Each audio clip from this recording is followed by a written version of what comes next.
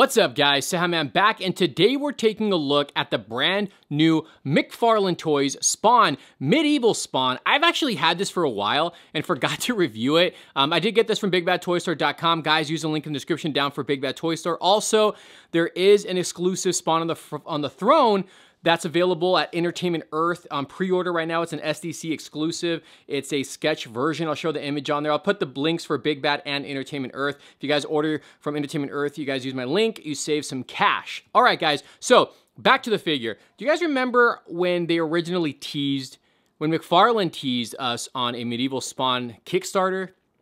I don't know what happened with that.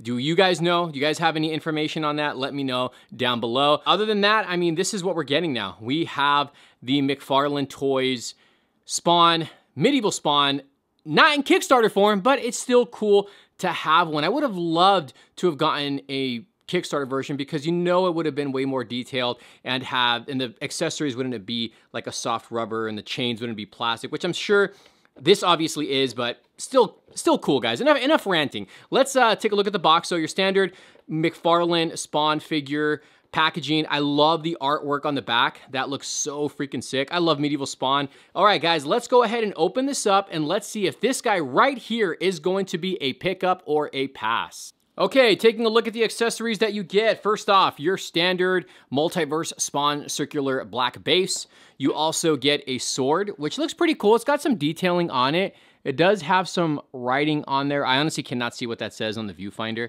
And then same thing on the opposite side. The, uh, the handle itself looks cool and the blade itself looks cool, but again, soft rubber material. If they if they would have made this like a metal, you know, the kick, you know, Kickstarter would have totally done a better job on this. Uh, and then you have like a mallet, and it has a spike on the end and on the top of it. And this is again, oh, you got the logo right there. The wait, no, this is sharp. This is actually really sharp though. That's pretty cool. Uh, it does look great again, but you got soft rubber handles. Does this bother anybody? Let me know in the comments down below if the rubber weapons do bother you. Let me know. Um, overall, still looks great. I think it, I think like the handle maybe should have used a little bit of uh, coloring on it, but I like that it is hard plastic for the spikes. So you got that. And now let's bring out Medieval Spawn. I like the look on this guy. Look at him. You have his mask, which looks fantastic. Soft rubber here. You got the green eyes. The detail looks so good on his helmet. And then you come on the back right here. Again, you can see some more detailing and sculpting on the back of his helmet. He's got some big shoulder pads here with spikes, and these are soft material. And some really cool little designs there on the shoulder pad. And it looks like it's in layers too. So you can see there's like different layers of the armor. And then same thing with this one here. This one has a face, like a skull face, or kind of like a Spawn logo on the other side of the shoulder pad. And again, it is layered. And then he's got like a, looks like a metallic burgundy color. And you, can see some, some sculpting on that too. You can see it on the other side as well. Let me see if how close I can get this, but it looks really good. I would have liked that the whole armor was like this, this metallic paint. Coming to the front of the outfit, you have, again, really nice sculpting in the outfit. All this is sculpted.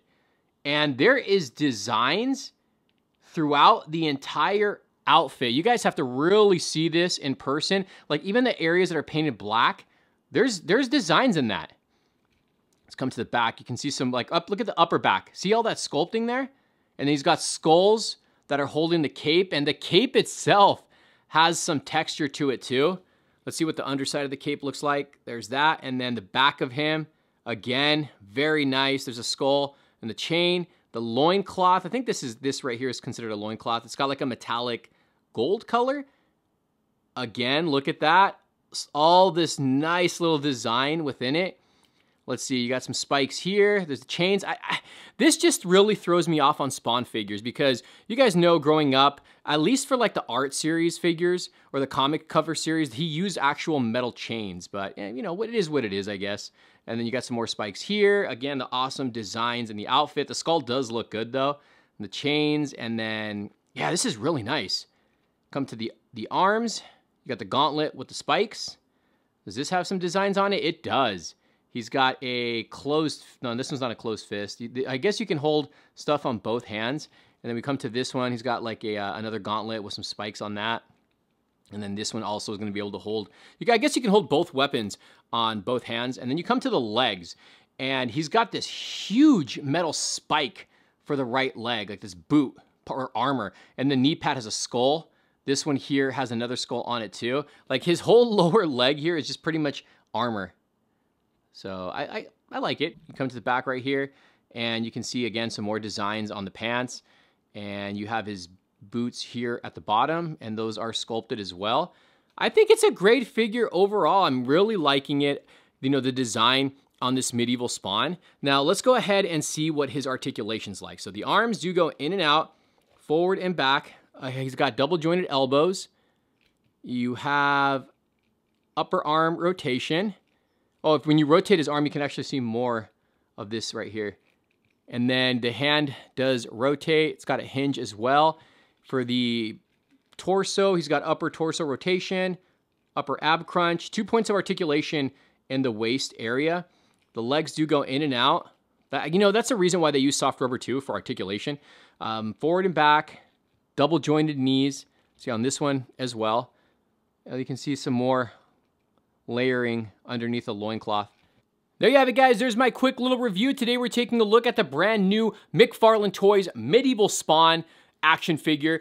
This is the first medieval spawn in the the new line, I guess you can say, from McFarlane Toys with uh, all the super articulation that we we have nowadays. So this is the 2023 version of Medieval Spawn. So let me know, guys, your thoughts. Do you prefer the soft rubber material over the hard plastic? I mean, I'm pretty sure everyone's gonna want the metal chains and all that stuff, but you know, it is what it is. I'm pretty sure because of prices and everything, that's why it's it is how it is. But I I would like the spikes to be uh, a little hard, like a hard plastic, and then the the boots down here, like the the spikes and everything. I wish they would have been more weathered. That's the only thing too. I wish you would have added better paint. But let me know if it bugs you that you know he it's it's the soft rubber material, or do you prefer the non articulated figures because he can do more detailing on them. I don't. I, just let me know your thoughts down below. Other than that, I do love this figure. You guys know I'm a big Spawn fan. I'm a big McFarlane fan, so he is going to go in the Detolf